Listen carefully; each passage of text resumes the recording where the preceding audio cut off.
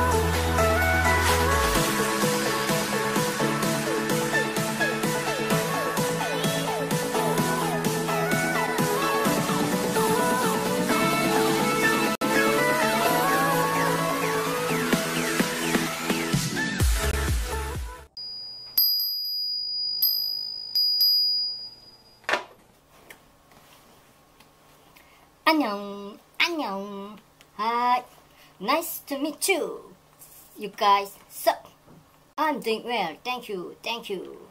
Welcome to my channel, this is David M. Wahahaha, wahahaha, wahahaha. We shall Anyway, today I'm gonna show you a swear word is dog, D-U-G, dog duck, duck, duck, duck, duck, duck, duck, duck, duck, duck. And then let's find out the meaning is D-U-G-1, duck, an other breast, or teeth of a female animal. DUG2, dog 2, past tense and past participle of dig. Period. 네, 오늘은 덕을 해본다. DUG. DUG가 딕, 파다. 파다의 과거형이 있고 또 하나는 젖꼭지, 이, 이 젖, 젖통을 말합니다. 근데 DUG랑 DOG, DUCK, DUCT 발음이 비슷비슷한 것 같아요. 거의 duct, duct도 그렇고. 아마 대부분 쓸 것 같습니다. 어쨌든 간에 dog. 예. 자, 오늘은 지난번 그 일본 영어 교육에 관련된 비디오를 봤는데 한번 일단 보시고 じゃあなんか結構日本人はなんか英語に自信が持ってない人が多いんだけどじ個人的になんではそれはそうかなと思ってますか？関わる機会が少ない気がする。もうちょっとそういろんな人に関わったらちょっと興味も出るかなって思う。ともう難しいって先入観があるからあんまり自分から 大丈夫。自分から関わろうとしないみたいな感じだからあんまり関わらないですね。あの海外の方合わないってことですか？そうですね。でも関わりたいとは思うよな。思うけどなんかあんまないみたいな。なんか会話がないみたいな。少なかったから英語も話せやんかなみたいな。普段あんまり触れないっていうのもあるし、まあ、授業中にあんまり一人一人が喋ったりする時間も多分少なめなんですかね。自分は単語の意味をその多く知らないから外国の方と話してもその単語が分かんないから文法は分かってもそのその大事な単語ぶ動詞の意味が分かんないから理解できないもう。話なんか何の話は通じなくなっちゃう。ね。はいはい。小学生の時とかなんか英語の先生がたまに来たりとかしてたんですか？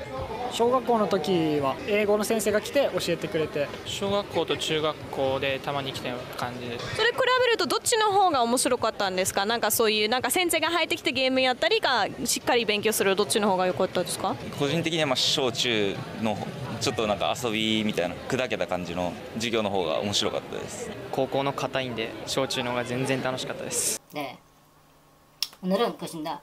그 영어에 일본 사람들이 대부분 영어에 자신이 없는데 왜 그렇다고 생각하냐 그랬더니 일단 그럴 영어로 얘기할 수 있는 기회가 적다 이거죠. 적다 뿐더러 영어에 관련된 것들이 별로 없다 이거죠. 보통 이제 외국 선생 외국 사람들하고 만날 기회도 별로 없고 뭐 만나고 싶지만 그럴 기회도 없고 기회가 없, 첫 번째는 기회가 없다.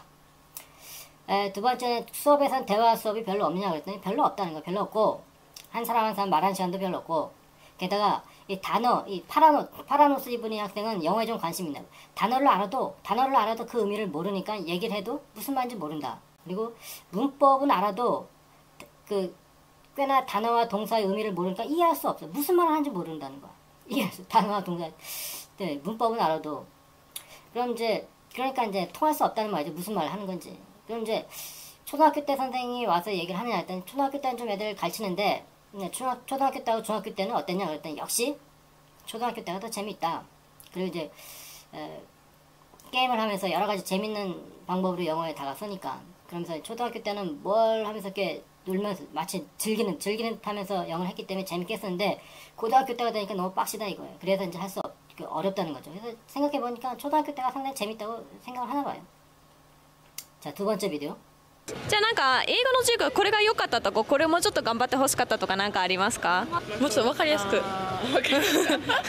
理解できるようにしてほしい。もっと外人の先生がいっぱい来てくれたらなって思います。じゃあ今の授業あの高校の授業と比べるとなんか英語の授業が大学に入るとなんか違いますか？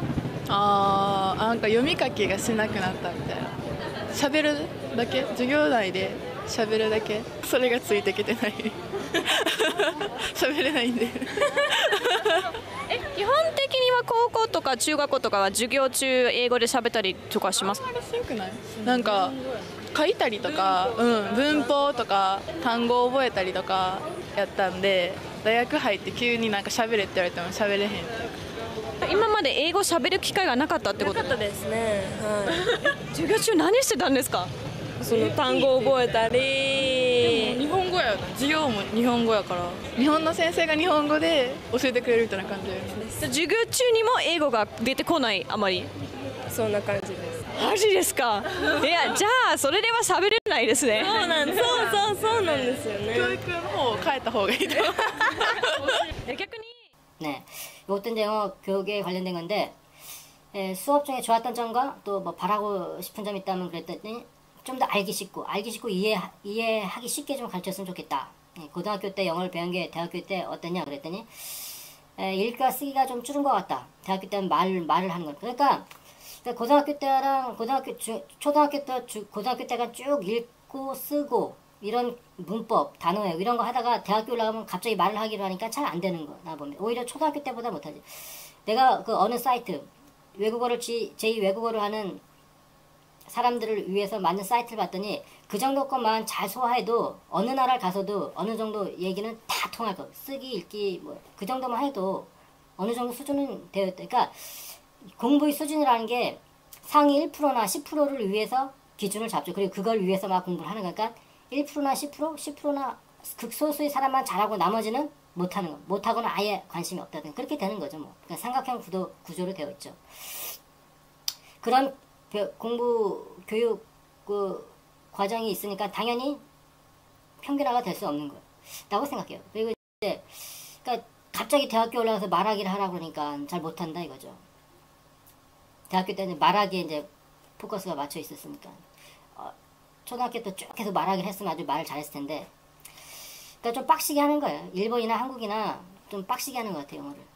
그러니까 말하 일단은 수- 말하기가 아니고 말하기가 아니고 어떤 선진 문화, 선진 문화의 기술적인 거가 책이 있으니까 책을 보고 그것을 이제 배우기 위해서 하는 게 첫 번째 목적인 것 같아요. 어떤 기술의 습득, 기술의 습득을 위해서 책을 읽고 거기서 무언가를 알려고 하는 그것이 첫 번째고 두 번째가 말하기가 되는 거죠. 두 번째 내지는 세 번째가. 근데 뭐 일단은 뭐 책을 본다는 게 중요하긴 중요해요. 일단 그런 걸 얻기 위해서는 어떤 근데 여기서 여기서 이제 말하기에 이제 중점 두었으니까. 에, 그래서 에, 중학교라든가 고등학교 때는 보통 쓰기, 문법, 단어 이게 가장 큰 비중을 두고 말하기는 역시 못. 그래서 영어로 말하기를 잘 못한다는 거. 당연하겠지. 당연히 speaking이 아니니까.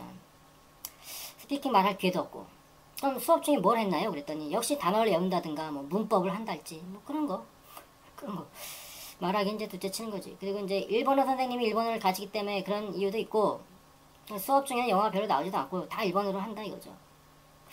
그랬, 그랬더니 이제 여자들이 말하는 게 어떤 커리큘럼이 좀 바뀌었으면 좋지 않나. 근데 영어 교육을 일본이 우리나라보다 훨씬 더 일찍 시작을 했죠. 시작했는데도 했음에도 불구하고 일본은 아직까지도 영어 교육에 상당한 어떤 문제점을 가지고 있는 것 같아요. 그리고 이제 우리나라는 일본보다 늦었지만 그게 좀 완화가 된 거고 중국은 더 완화가 돼요. 중국은 아예 이게 좀 이렇게 순서가 있는 것 같아요. 문화가 문화 문화가 이게 옮겨가는 게 순서가 있는 것 같아요. 이쪽으로 갔다가 저쪽으로 갔다가.